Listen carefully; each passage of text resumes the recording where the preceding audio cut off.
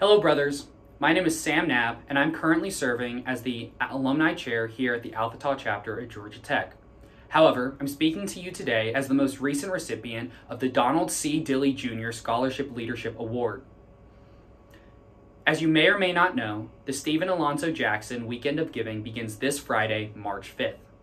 During this time, any tax deductible donations made between March 5th, 12 a.m. Eastern Standard Time and March 7th, 11:59 p.m. Hawaiian Standard Time will go directly to the Alpha Tau Specific Endowment Fund.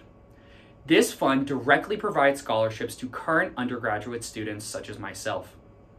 Our goal at Alpha Tau this year is both 100% undergraduate participation as well as raising over $3,500. In order to reach this goal, we have decided to provide a tiered incentive list for any non undergraduate donors.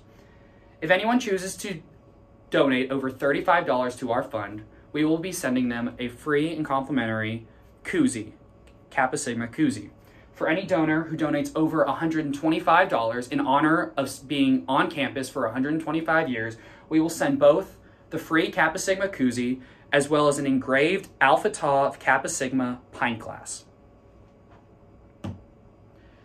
As the most recent recipient of this scholarship, and as a graduating senior who is leaving undergraduate program to pursue a master's degree, any kind of financial assistance is really beneficial as I switch to financial independence from my parents. I was really honored to receive this award after spending four years giving my heart and soul to this chapter, and it really made me feel like my contributions to the longevity of our brotherhood was seen.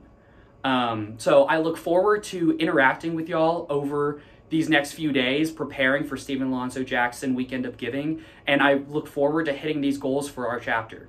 AEKDB Brothers.